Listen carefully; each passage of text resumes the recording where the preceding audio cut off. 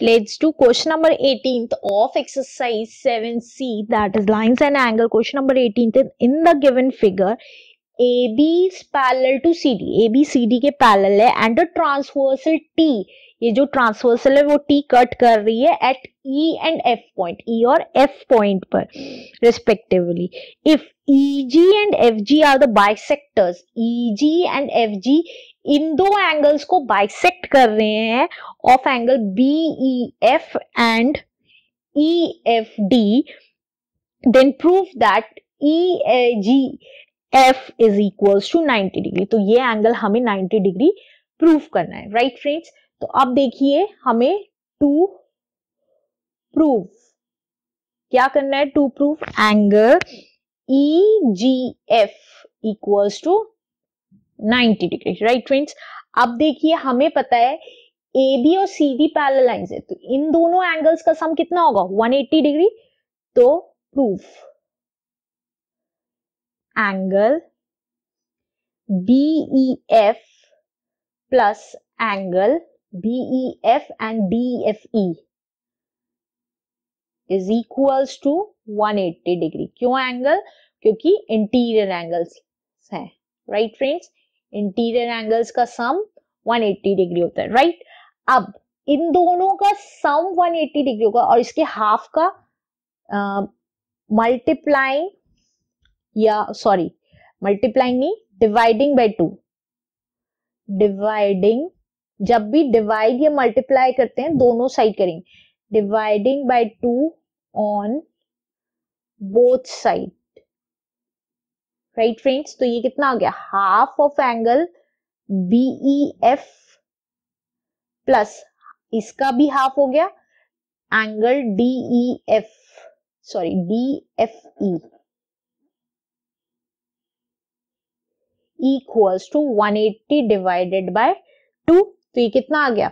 Half of B F कितना आ गया? हाफ़ इसका जी ई बी आ गया. सॉरी इसका एंगल ये बाइसेक्टर्स है तो ये एंगल इस एंगल की इक्वल होगा राइट फ्रेंड्स तो हम हाफ़ या तो ये लिखें, या ये लिखें one and the same thing मैं अंदर वाला लिख लेती हूँ। Angle G E F plus angle G ऐसी ये वाला लिख लेते हैं।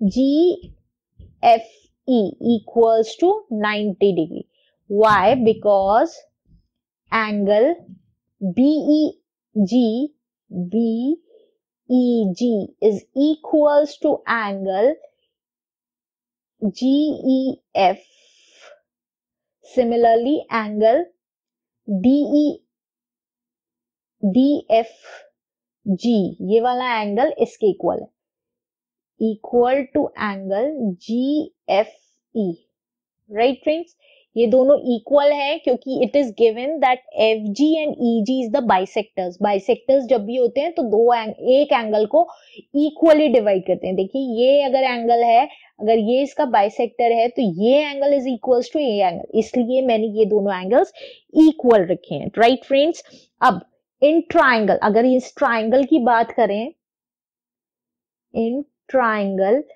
E G F इस ट्राइंगल में तीनों एंगल्स का सम 180 डिग्री होता है तो एंगल कौन कौन से हो गए?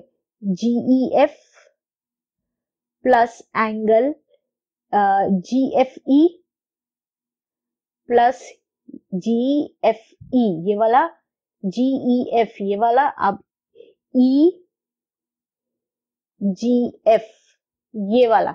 इज़ इक्वल्स टू 180 डिग्री होता है, क्योंकि हमें पता है ट्राइंगल में तीनों एंगल का सम 180 डिग्री होता है। अब हमें इन दो की वैल्यू दी हुई है 90 डिग्री तो ये और इसकी जगह, इन दोनों की जगह मैंने ये 90 डिग्री लिख दिया।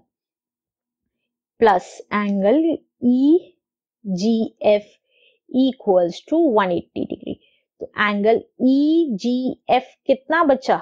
ये इधर आ गया 90 तो 180 माइनस 90 तो angle E G F is equal to 90 degree यही हमें प्रूव करना था कि ये एंगल हमारा 90 डिग्री का है. Answer thank you if you understand the step by step solution of this video please subscribe my channel on maths and share it with your friends thank you